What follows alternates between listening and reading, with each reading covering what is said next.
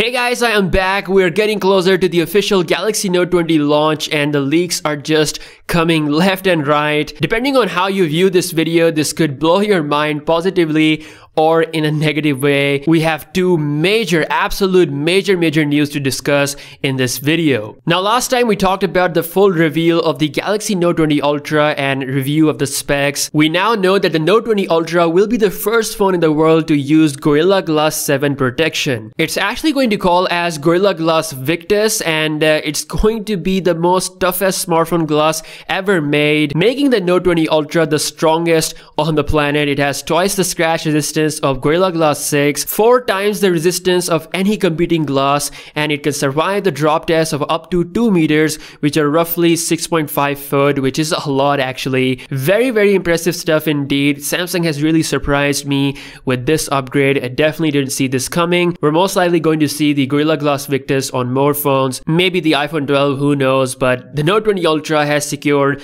the strongest thing, which is the Gorilla Glass 7, aka Gorilla Glass Victus.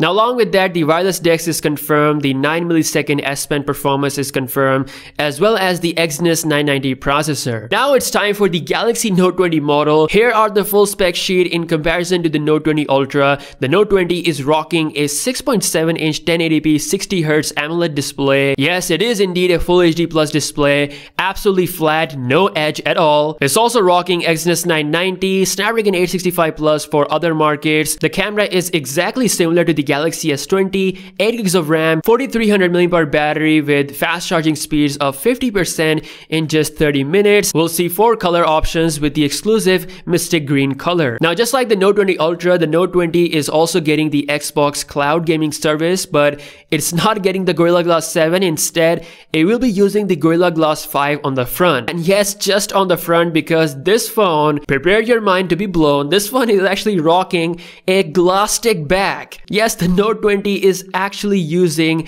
a Glasstic bag. That's kind of a combo they use on their Galaxy A series phone. Every day, the Note 20 is becoming closer and closer to like a upper A series phone.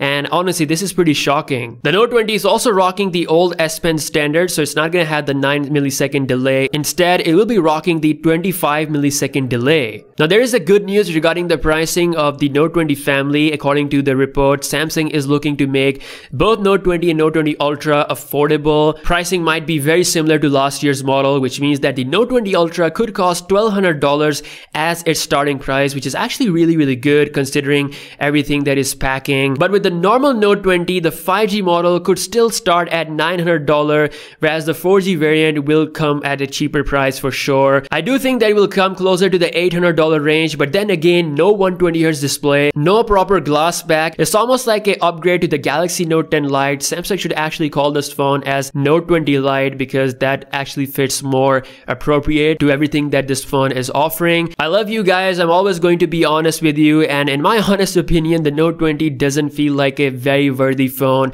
of your money. You should actually wait for the Galaxy S Fan Edition, which is rumored to get 120 Hz display, Snapdragon 865, all that good stuff coming later down the year. Or you should just jump straight to the Note 20 Ultra, which is looking great. But then again, the Exynos 990 is there for some markets, which I know is going to be an issue. We have complained a lot, but it turns out Samsung is actually very proud and apparently they're going to be using a tagline called the power of our own parts uh, with the whole Note 20 lineup. Samsung is actually a creator company. They make their own displays, their camera sensors, RAM, memory, and even circuit boards of their own phones. And most importantly, their own chips, the Exynos processors, which is why Samsung will be using this marketing tagline fully embracing the Exynos chipset and uh, other stuff that they do. And uh, yeah, it is what it is. I know people are mad, rightfully so, because it is unfair to them. Honestly, they should make the international models more affordable compared to the Qualcomm versions because